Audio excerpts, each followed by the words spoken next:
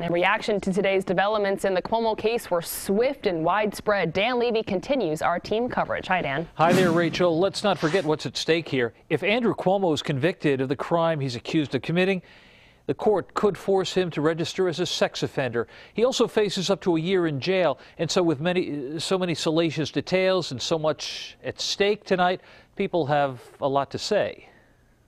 Among the many public figures who issued statements tonight regarding the Cuomo case is Attorney General Letitia James, whose scathing report issued earlier this year confirmed what many women had alleged that the former governor was a serial sexual harasser. The AG issued a statement that read in part The criminal charges brought today against Mr. Cuomo for forcible touching further validates findings in her report.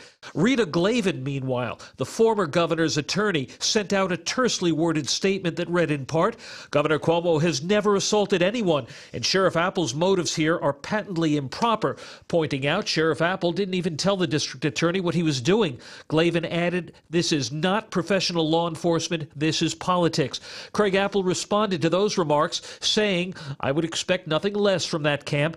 We get paid to protect people, and that's exactly what we are doing. A statement from the governor's camp followed. Cuomo spokesman Rich Azzopardi sent out these words accidentally filing a criminal charge without notification and consent to the prosecuting body doesn't pass the laugh test, and this process reeks of Albany politics and perhaps worse.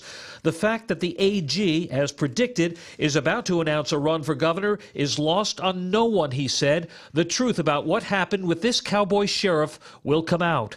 I don't know if something, if this is being treated differently because it's Andrew Cuomo, but um, you want to make sure that the court system treats everybody the same way, and I'm not entirely sure that, that that the investigators are doing it that way here. Local defense attorney Lee Kindlon says he expects Mr. Cuomo will receive a criminal summons in the mail and he'll have to appear in person in Albany City Court November 17th. What he doesn't expect is for local law enforcement officials to show up at the governor's door.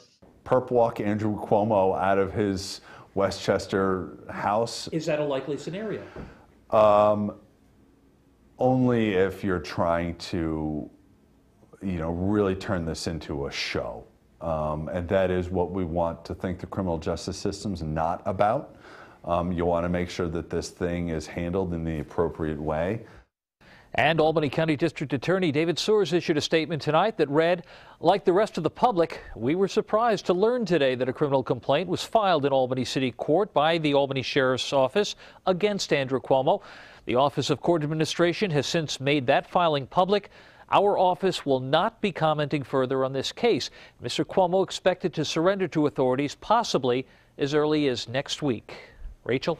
All right, Dan, thank you so much. Definitely a big story that we will continue to follow.